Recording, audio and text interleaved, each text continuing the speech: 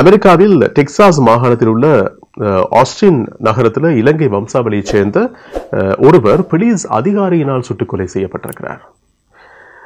தொழில்நுட்பத் தொழில் புரிகின்ற இலங்கை வம்சாவளியைச் சேர்ந்த முப்பத்தி மூன்று வயதுடைய ராஜ் முனசிங்க என்பவர்தான் இவ்வாறு போலீசாரினால் சுட்டுக் கொலை செய்யப்பட்டிருக்கிறார். வீட்டுக்குள்ள இருந்த நபர் வெளியில ஏதோ சத்தம் கேக்குதுன்னு பார்த்துட்டு துப்பாக்கியோட வெளியில போயிருக்கார். வெளியில போலீசார் நின்றுருக்கிறாங்க அப்ப இவர் துப்பாக்கியோட வெளியில போனதுக்கு என்ன காரணம்ண்டா யாராவது கொள்ளையர்கள் வந்திருப்பார்களோ தெரியல என்ற சந்தேகத்தின் அடிப்படையில தான்.